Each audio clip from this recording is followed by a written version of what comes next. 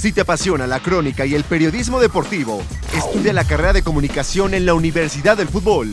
Las mejores prácticas profesionales, instalaciones de primer nivel y el mejor ambiente para cumplir tus sueños. Universidad del Fútbol presenta ¿Qué tal amigos de redes sociales del Club Pachuca? Un gusto saludarlos desde el pabellón Tuzo. A mis espaldas el área de rehabilitación. En estos momentos el conjunto blanquiazul viaja rumbo a Tijuana para su compromiso de la fecha 7 de la Liga MX contra los Cholos.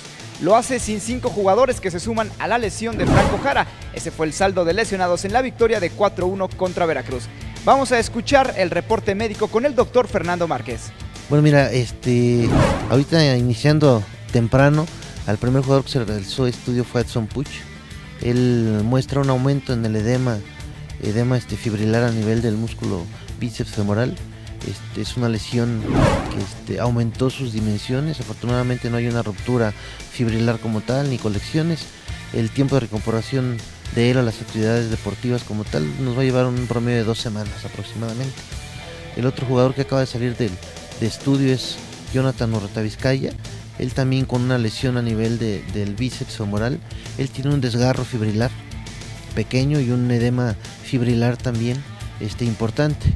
Él pues por esta, esta lesión no va a acudir a la, a la selección de, Uruguay y el tiempo de evolución en su lesión es de este, aproximadamente 2-3 semanas. En lo que se refiere a Guti, es un, es un esguince de tobillo. El estudio que estamos realizando más que nada es por para tener una, tranquilidad en valoración, en valorar completamente toda la, articulación este, de, ese tobillo, porque aunque no fue tan grande eh, el proceso inflamatorio de la lesión, sí nos llamó mucho la atención el, el dolor tan importante que presentó. Ahorita está en el estudio y vamos a esperar este, los resultados del mismo. Este, nos faltaría valorar por estudio a lo que es Zagal y este y Eric Aguirre.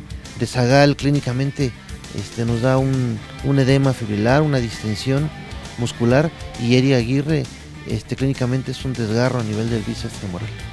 En el caso específico de Jonathan Urreta Vizcaya y Edson Push habían sido convocados por sus selecciones, Uruguay y Chile respectivamente, pero no harán el viaje, esto para no arriesgarlos y que no se agrave su lesión. En el caso de Omar González, él ya está totalmente reintegrado al trabajo, hizo el viaje a Tijuana y podría tener minutos la noche del viernes. Toda la información sobre la preparación del equipo de México en el reporte semanal. Esto más adelante a través de las redes oficiales. Club Pachuca Tuzos en Facebook y arroba Tuzos en Twitter. Desde el pabellón Tuzo en la cámara Oscar Fuentes se despide Luis Rafael Álvarez. Aquí comienzan tus sueños. Universidad del Fútbol presentó.